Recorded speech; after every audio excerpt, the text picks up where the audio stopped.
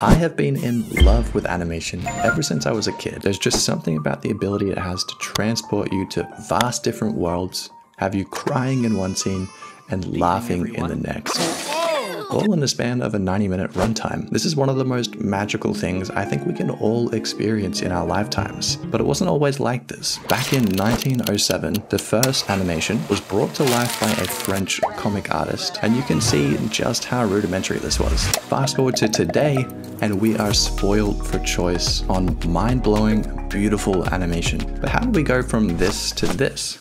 Enter the graph editor. This tool is foundational in modern age animation. It's been built and compounded upon throughout the years, and it's what allows for the kind of animations you see on the silver screen and of course, video games. When you boil it down, this whole tool is essentially a way to edit a simple line with limitless possibilities. So in this video, I'll be showcasing the power of the graph editor, how to use it, and a few tricks you probably didn't know. Blender, I have a very simple animation here of a cube moving forward. I'll drag open another window and press Shift plus F6 to switch to the graph editor. And you can see we have a total of two keyframes and also, oh my god, there's so much stuff here. How do we use this thing? Don't worry, let's cover some quick hotkeys. First off, all the normal navigation and selection hotkeys like rotation, scale, and all that stuff works in the graph editor. Next, I'm not sure many people know this or are even taught what the graph editor actually is. It's a 2D version of what's happening in the 3D space. Okay, see, I have a cube here on the x-axis. It's going from the value of negative 1 to positive 1 in the 3D space. This is then translated into a 2D form as a simple line, and you can see the value of negative 1 is shown here, and this translates all the way up to the value of positive 1 over the course of 24 frames. This is something that might be a little bit hard to grasp, but it's the foundation of how you actually read the graph editor. Before we can get to editing our splines and animating them, we first need to know how to select them. I mean, look at this mess. The first thing we can do is, let's say I want to single out a specific axis and only work on that one. Well, I can come here to the outliner, select the axis I want, and press Shift plus H. This will hide every other channel that isn't selected. If you want to bring it all back, you can press Alt H and you're good to go. You should probably know what interpolation is if you're even remotely interested in animation.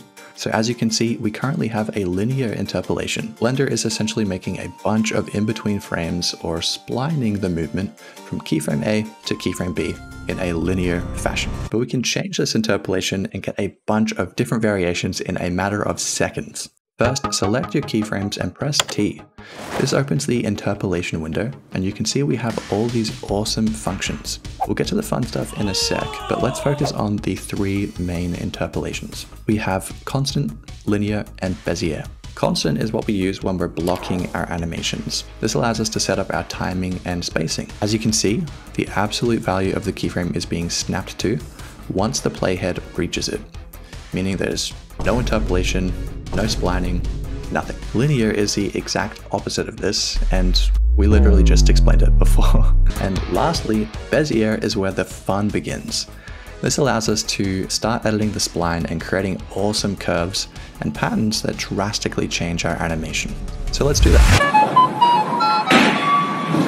With my two keyframes here, I can create an insane amount of detail and character in my animation just by altering the handlebars. Okay, well, What's a handlebar? First, change your keys to Bezier, and you can see we now have three transform points on the keyframe. There's the keyframe itself and two handlebars. We can move these handlebars independently and make some really cool curves and animation. But there's a problem. If we have another keyframe like this and try to edit one handlebar, you'll see it's automatically adjusting for the changes on the other side. What if we just want to edit one side? Well, this is where handle types come in. You can access them by selecting your keyframe and pressing V. This will give you the handle types menu, and there's a few here, so let's cover them quickly. By default, it'll be on automatic clamped, which automatically chooses the handle positions to make a smooth curve on both sides. This is also clamped, meaning the curve will not overshoot your keyframe's value. Automatic is exactly the same, except it doesn't clamp the curve, so they can overshoot the keyframes value, which makes for some really cool animations. Vector will create automatic linear interpolation between two keyframes. It doesn't affect the other keyframes handle types, so this is a really handy way to make a really quick bouncing ball animation. Aligned will essentially lock both handles in their exact opposite directions, meaning no matter what, the curve will always be smoothed at the keyframe's center. And lastly, we have the free handle type. This lets you move and manipulate both handlebars independently. With this information now, you can create some insane animations simply by implementing a few curves and experimenting with the different options in the interpolation menu. I've linked a great resource below that shows you all the different types of curves and how they affect your animations. So we have a decent understanding of this magic line now and how it affects and transforms our animations. But there's one massive problem I see a lot of people make when they're finalizing their animations. And to fix that, you'll want to watch this video right here.